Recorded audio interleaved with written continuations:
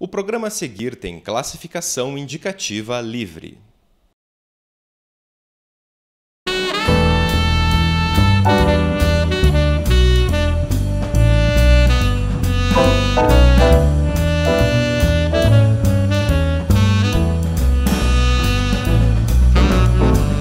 Olá, esta é mais uma edição do Cine Federal que começa agora. A presença feminina no cinema esconde dados e eventos muito interessantes para quem estuda essa área. Presentes desde a aurora da sétima arte, as mulheres sempre foram, de certa forma, esquecidas enquanto produtoras, diretoras e críticas de cinema. Os movimentos mais recentes da nossa sociedade lutam para trazer luz a essa presença. Uma das iniciativas em território nacional nessa linha são as Elviras, coletivo que reúne críticas de cinema de todo o Brasil para debater sobre filmes e também, ainda que não necessariamente, sobre o papel da mulher no cinema. Eu conversei com uma das integrantes do grupo, a jornalista Bianca Zasso, que diretamente de Santa Maria, no Rio Grande do Sul, contou um pouco sobre as experiências do coletivo. Acompanhe. Uh, tudo começou em julho, em junho do ano passado. Uh, na verdade, a Cecília Barroso e também a, a Samanta Brasil, né, que foram as, digamos, as duas primeiras Elviras, começaram a se reunir, criaram um grupo no WhatsApp, também no Facebook para conversar, para trocar ideias justamente sobre mulheres que escreviam sobre cinema, que pensavam cinema. E a partir daí elas foram fazendo várias, uh, vários encontros, na verdade. Teve no Festival de Brasília, teve também no Festival do Rio. E agora, na mostra de cinema de Tiradentes, uh, teve uma mesa. Na verdade, essa mesa serviu como, digamos, uma apresentação oficial das Elviras, né, para o público cinéfilo, né? E foi muito legal essa, essa mesa, porque foi uma oportunidade, primeiro, de dizer para que, que serve, serve as Elviras e para as pessoas se darem conta de que uma coisa que ainda é um mito, principalmente no mundo da crítica de cinema, é que tem poucas mulheres escrevendo sobre cinema. E a gente comprova que isso é um mito, porque até agora nós já, nós já somos 80 Elviras né, cadastradas, assim, que tá, estão trocando informações é, também na, pela página do Facebook e pelas publicações que a gente tem feito. Uh, então, assim, já são mais de 80 ouvidas e sempre contando. Então, a tendência é aumentar ainda mais. A gente está abrangendo as cinco regiões do país. Então, assim, para mostrar que tem menina escrevendo cine sobre cinema em todos os cantos do país. E elas não escrevem só sobre o feminino, isso é muito legal. Dentro de Ouvidas, a gente conversa muito sobre isso. É, não falar só apenas do feminino ou só de filmes protagonizados por mulheres. Uh, o o Ouvidas existe para falar de cinema. Se a gente tiver que falar de filmes que, ou, cujo elenco é todo masculino, a gente é capaz de falar assim.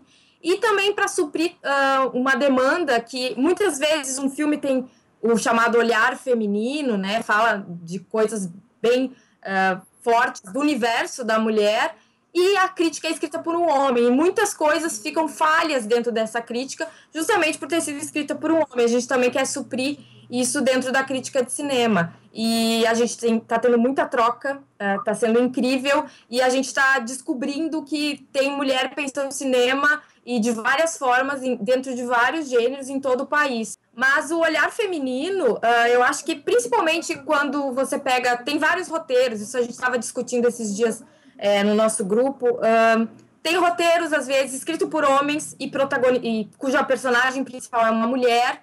Uh, e a, a forma como a história é contada, a, o olhar que é dado para essa mulher é muito masculino. Uh, e isso é percebido apenas por nós, mulheres. Muitas vezes os homens, e não, não é por machismo nem nada, é por, às vezes, falta de informação, ou mesmo por não prestar atenção nesses quesitos, uh, acaba tendo uma visão muito masculina do feminino. A gente uh, teve um filme, inclusive lá em Tiradentes, que causou bastante é, controvérsia, assim, que foi o Subbaia, que é um filme dirigido por um homem, o Léo Pirata, uh, cuja protagonista é uma mulher e que uh, a ideia central do filme seria falar sobre o feminismo, sobre a liberação feminina, e o filme tem uma visão que é completamente utópica e machista. Então, assim, é um homem falando da condição feminina uh, com um olhar de homem, sabe? Uh, o que a gente criticou na época não foi a questão da. A, inclusive, o próprio diretor falou num debate após a exibição do filme: ah, eu sou filho desse olhar machista, eu sou um, um cara criado numa família machista. Mas a gente é, pensa que, mesmo sendo um homem querendo contar uma história protagonizada por uma mulher, ele pode fazer pesquisa, ele pode conversar com outras mulheres, ele pode buscar informação para fazer o seu roteiro. E isso foi uma, assim, acho que foi o estupim para a gente parar e pensar.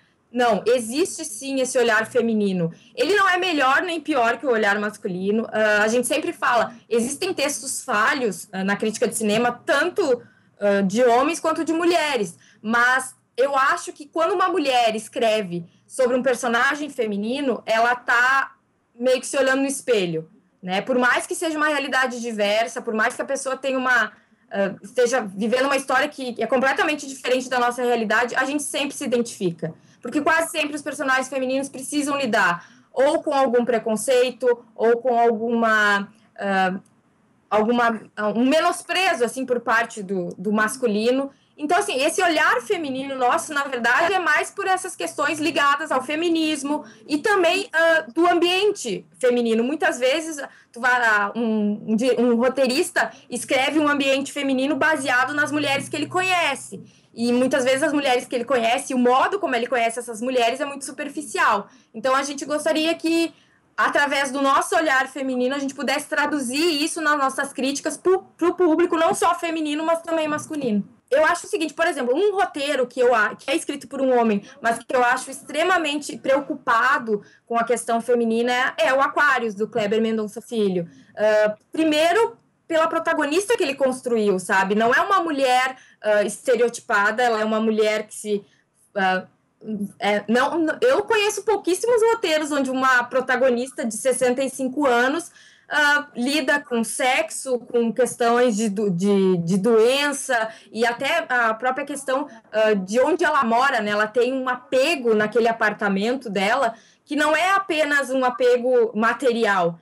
Tem uma história, ela viveu muita coisa ali dentro.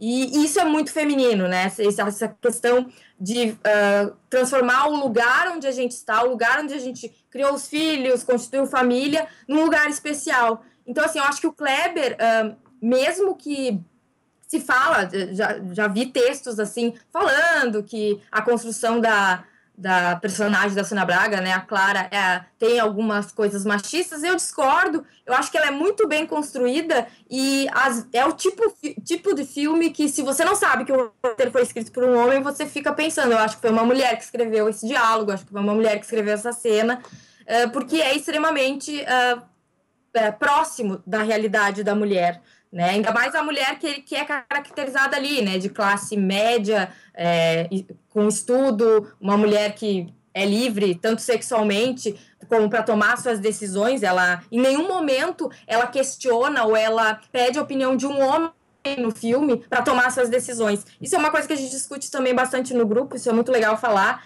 Uh, às vezes, uh, um filme, ah, mas o filme tem uma personagem uh, feminina, então ele não é machista.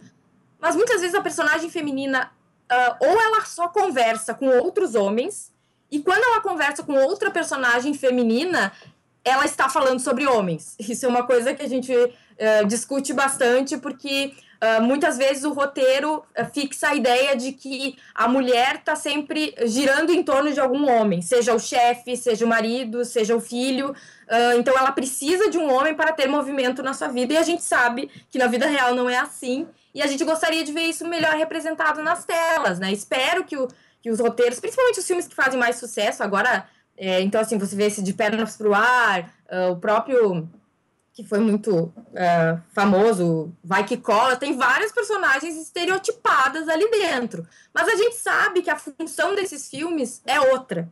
Né? Eles têm uma questão mais forte de arrecadar bilheteria. E assim, não, não desmerecendo esses filmes, mas eles não são filmes que você vai sentar e dizer, ah, agora eu vou analisar a figura feminina desse filme. Mas uh, a gente torce que, que o, o, o também colabore com isso, para que os roteiros tenham essa preocupação. É, não é nem. A gente não quer assim, um filme só com mulher que só fale de coisa de mulher. A gente só quer que a mulher seja bem representada dentro de roteiros uh, sejam. É, não importa se ela é a única personagem feminina do filme ou se o filme é composto só por mulheres. Então a gente gostaria de, ter, de ser melhor representada, de ter uma proximidade com a, com a realidade que os personagens masculinos, na sua maioria, têm.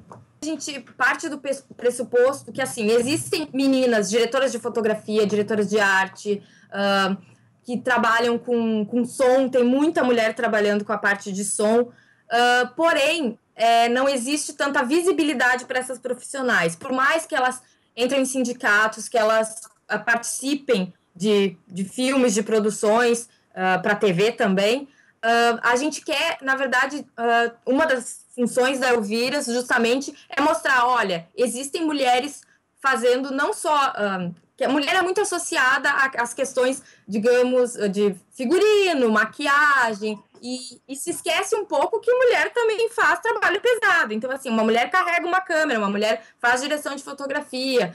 E então, uma das coisas que a gente discute muito lá no Elviras é que muitas vezes, uh, como a maioria dos grandes fotógrafos, dos grandes diretores de arte e, e também uh, iluminadores são homens, acaba-se sempre procurando esses profissionais. Porque, digamos que é um nome tarimbado, então a, existe a garantia de que o trabalho vai ser bem feito. Porém, existem novas mulheres no mercado que estão trabalhando, que fazem um trabalho incrível, porém elas não ficam muito na vitrine, né? Então, assim, porque ainda causa, é, é, é, muito estranho falar isso, mas ainda causa um certo furor quando uma mulher chega e diz: Olha, eu sou diretora de fotografia. Assim, Nossa, uma mulher diretora de fotografia, como se fosse assim, como se estivesse num século onde a mulher estudar fotografia fosse algo muito inovador. E elas já estão nas escolas de cinema, elas já. E eu acho, inclusive, que muitas vezes um filme necessita de uma sensibilidade que é, é mais suave, né? A gente sempre associa, querendo ou não, o olhar feminino a uma coisa mais suave, mais gentil. Não acho que seja só isso, mas muitas vezes, uh, como eu te disse, para uma mulher escrever uma crítica sobre uma personagem feminina é muito gratificante porque a gente conhece, digamos que se sente mais próxima dessa personagem. Uma diretora de fotografia que vai fotografar uma personagem que tem uma história de vida parecida com a dela, talvez colabore com o diretor de uma forma que talvez um homem não colaborasse. Então, eu acho que a grande uh, questão é que essas profissionais existem e elas precisam divulgar o seu trabalho. Uh, então, acho que também parte também das produtoras procurarem mulheres para fazer esses trabalhos. Então, uma coisa que a gente discute bastante é por que, que, toda vez que tem uma mesa, por exemplo, num festival sobre direção de fotografia, quase sempre eles chamam os principais diretores de fotografia. Por que não chamar uma mulher? Sabe? A gente quer essa representatividade, até porque, de certa forma, ela vai trazer um olhar diferente dos outros diretores e isso vai, vai ser bom para o debate, vai ser bom para o tra trabalho dela e principalmente vai colocar ela numa vitrine que, olha, existe uma mulher que, que de repente um diretor olha e diz, oh, ela pensa de um, uma forma parecida com a minha, eu quero chamar ela para trabalhar comigo. Uh, uma coisa que a gente discutiu, uh, é, você falou muito das mulheres no cinema brasileiro, uh, na mostra de Tiradentes, as homenageadas eram duas mulheres, era a Helena Guinês e a Leandra Leal. na mesa em que elas foram entrevistadas, só haviam homens entrevistando, questionando as duas. E uma das, uma mulher na plateia questionou: ah, por que que, afinal, vocês estão homenageando duas mulheres que falam muito bem de mulheres no cinema, né, que representam muito bem a figura feminina, por que só homens questionando? Por que não uma mulher para questionar, por exemplo, a obra da Helene Guinness?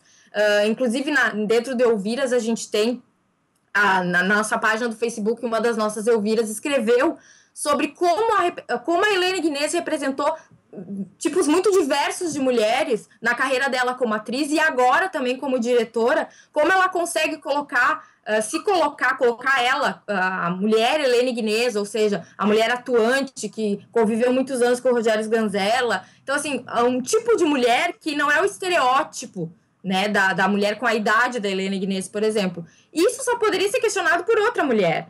Então, aliás, o, o, festival falou sobre as minorias, né? Sobre a questão da representa representação do negro, do gay uh, e das mulheres também no cinema. E de repente você faz um, você chama duas mulheres, homenageia o trabalho de duas mulheres e elas são questionadas o tempo inteiro por perguntas de homens. Né? Então, isso foi uma, uma questão, porque eu acho assim que o cinema brasileiro tem várias protagonistas mulheres incríveis. E a maioria delas foi escrita e dirigida por homens.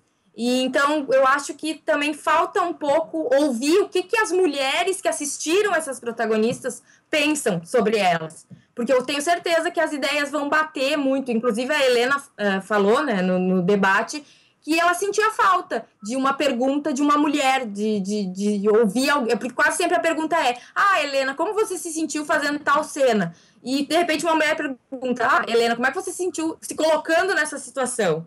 É porque é óbvio, de mulher para mulher, as, as perguntas ganham um novo significado. Isso é uma das nossas preocupações, justamente ter a mulher presente, ainda mais quando se questiona a falta de mulheres dentro do cinema, né? principalmente na questão da crítica. A, a Catherine Bigelow, eu acho a temática dela sempre muito boa. É, eu sempre me lembro que ela fez o, na minha, o meu filme de vampiro favorito da, da adolescência, que é Quando Chega a Escuridão, que é um filme extremamente violento, uh, que quebra todos os padrões de família, de, do próprio gênero de terror, né? Então, os, os vampiros da Catherine Bigelow são únicos, né? Eles até se assemelham mais aos Garotos Perdidos, né? Que é um filme extremamente masculino também, muito associado ao público masculino.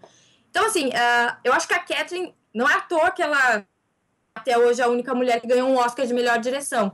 Eu acho que esse, essa temática masculina com a qual ela gosta de trabalhar um, causa muita estranheza, porém, uh, ela. Eu, a gente brinca isso, às vezes a gente tem que ser um pouco homem para ser visto ser vista como mulher dentro do mundo do cinema. A Kathleen é um exemplo, então ela faz filmes uh, associados ao universo masculino, mas ela não abandona o olhar dela. Eu acho que um homem jamais faria guerra ao terror do jeito que ela fez. Né? Essa questão de trabalhar principalmente uh, com o personagem principal, que é um homem movido pelo medo, né? Ele, te, ele precisa sentir medo, ele precisa daquela adrenalina, senão a vida dele perde o sentido. Talvez um filme, um diretor homem, fosse fazer um roteiro baseado mais nas cenas de ação, nas explosões, que tem também no filme da Kathleen Bigelow, mas que ela também preza isso. Olha, essa, essa violência ela não é de fora para dentro, ela é do, do personagem. O soldado é violento e ele expõe isso uh, de determinadas formas, no caso dele, né, desarmando as bombas. Uh, a questão da crítica, uh, eu faço críticas, assim, oficialmente, há seis anos. E desde pequena, eu sempre, eu nunca consegui ver um filme sem pensar sobre ele. E eu acho que um, aí um belo dia eu me dei conta de que quem fazia isso eram os críticos de cinema. Até uma, uma questão que a gente falou uh, esses tempos no, num debate é que muita gente acha que crítico de cinema é cineasta frustrado. Ah, ele nunca conseguiu fazer um filme bom, então ele fica falando mal do filme dos outros. Não é isso. Uh, tanto que eu me sinto, eu me sinto muito mal quando eu assisto um filme não gosto, acho, percebo as falhas no, no filme e tenho que falar delas, afinal, eu não posso mentir para o meu leitor, sabe? Mas uh, porque é muito difícil você criticar o, tra o trabalho dos outros, porque você sabe que por mais que o filme seja ruim, teve um diretor, teve um roteirista que trabalhou, que gastou seu tempo para fazer aquele filme. Então, é, é muito difícil e eu acho que a crítica, a principal função da, da crítica é funcionar como mediadora sabe? Eu me vejo como uma mediadora entre o público e o filme. Uh, acho que a principal função do crítico não é nem dizer, olha, isso é bom, isso é ruim. É mostrar umas nuances que talvez alguns espectadores não consigam perceber.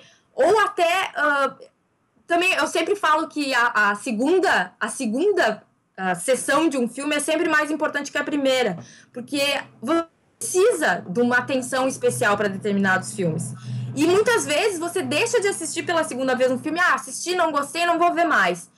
Às vezes uma crítica, um comentário faz você voltar naquele filme e perceber o detalhe que vai fazer toda a diferença entre o gostar e o não gostar. Então eu acho que crítica é fazer essa mediação, é apresentar para o público um filme que talvez uh, só pela, pela diversão e pela pipoca ele não vá assistir. Então, às vezes, ele precisa de uma crítica. Eu, eu, eu acho muito estranho quando alguém uh, chega, chega e diz assim, ah, eu não leio crítica porque vai me influenciar na, na ah, em gostar ou não do filme. eu não acredito nisso. Eu acho assim, se você quer ler uma crítica, vá para o cinema com essa crítica na cabeça, mas se questione, sabe? Eu quero, eu quero ser questionada. Eu não gosto se alguém diz assim, ah, não, eu concordo plenamente com tudo que tu disse, eu penso igualzinho. Não, eu quero uma, eu quero uma volta, sabe? Eu acho essa troca entre o crítico e o leitor é necessária. E eu não tô falando de troca de dizer assim, ah, não, você é um burro, você não gosta do filme tal. Não. É a troca, de dizer, olha, você falou isso, mas eu, eu enxerguei de outra forma. Até porque várias vezes eu aprendi a gostar de filmes e aprendi até a desgostar de alguns filmes, justamente por ler críticas e também por fazer essa troca, por é, escutar o outro e prestar atenção no olhar que o outro tem sobre o filme. Uh, o L gerou muita discussão entre as Elviras, assim, a gente a gente brinca que, assim, que foi uh, depois do Subbaia lá em, em, Tiradentes, foi o L que mais causou discussão. O mais legal, somos todas mulheres e nem, nenhuma ali tem a mesma opinião sobre o L, sabe? E uh, teve gente que amou, a gente brinca, é o, é o filme que ganhou 10, ganhou 0 dentro do Elviras. Todo mundo tem uma opinião formada. Uh, para mim, uh, eu gosto muito do Paul Verhoeven, que é o diretor. É, acho assim, já uh, é difícil um filme dele que eu não goste, até os filmes mais fracos. eu gosto muito dele como diretor. Acho que ele tem uma, uma, facilidade em criar umas tramas, em falar de assuntos extremamente pesados eh, de uma forma quase cínica, sabe? E, e, você, como espectador, fica assustado. Meu Deus, olha só a maneira como ele mostra, né? E o L em especial, isso fica mais forte ainda.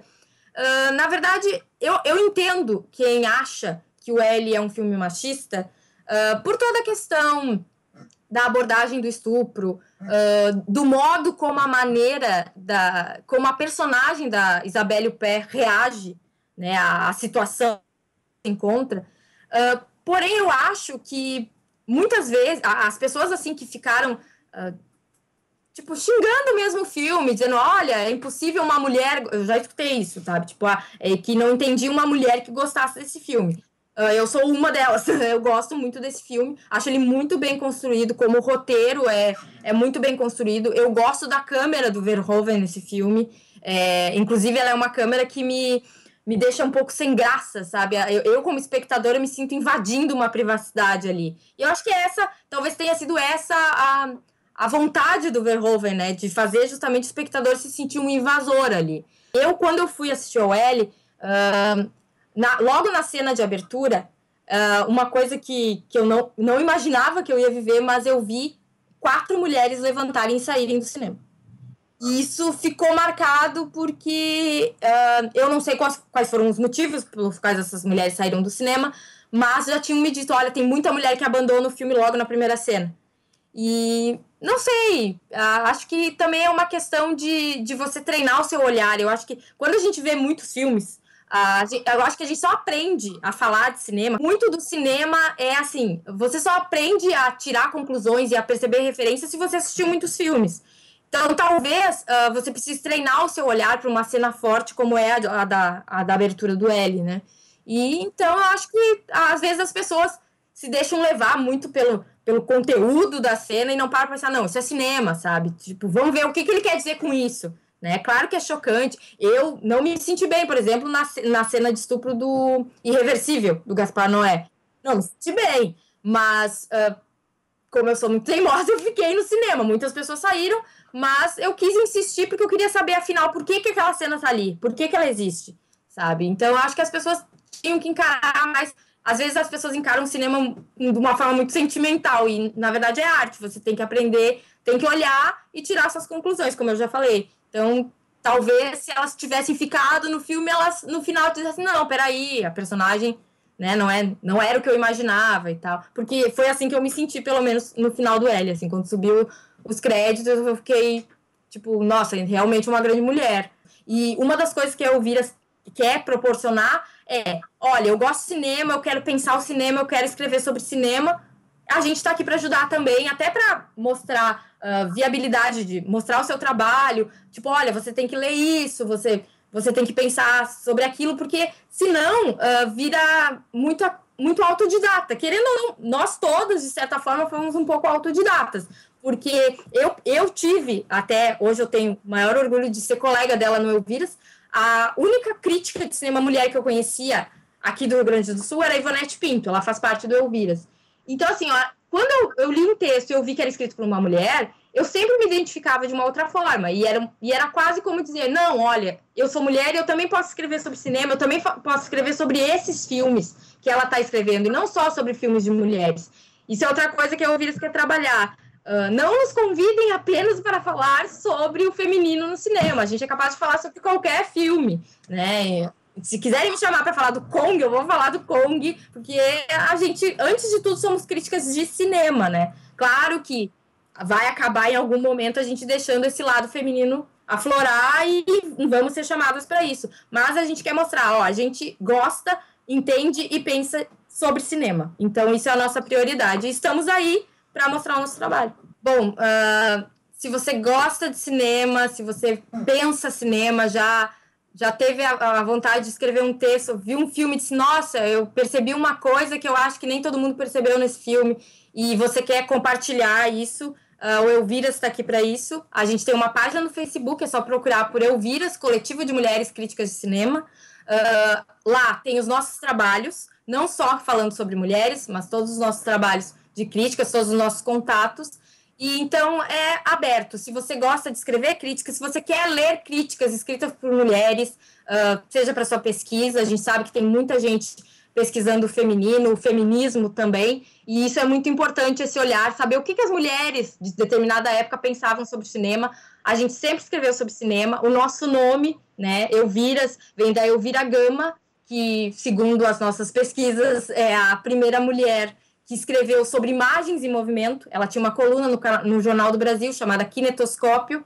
Uh, não falou propriamente de cinema, mas, fal mas falou de imagens em movimento. Então, ela foi a primeira mulher que sentou e escreveu uma coluna, né, pensando as imagens em movimento. Então, assim, somos muitas, unidas somos mais fortes. Então, se você gosta de cinema, se você gosta de escrever sobre cinema, de ler sobre cinema, acesse a página do Elviras, entre em contato com a gente, uh, porque com certeza a troca será muito, renderá muitos frutos e a gente está aí para mostrar o trabalho de vocês e também para mostrar o nosso trabalho e colocar esse olhar para todo mundo que quiser saber o que, que pensa uma crítica de cinema. Não é muito diferente do que os críticos pensam, mas a gente tem umas visões bem legais assim sobre umas questões que talvez os homens nunca tenham prestado atenção, ou por falta de atenção, ou mesmo porque não querem falar sobre determinados assuntos. Então, o Elvira está aí para isso.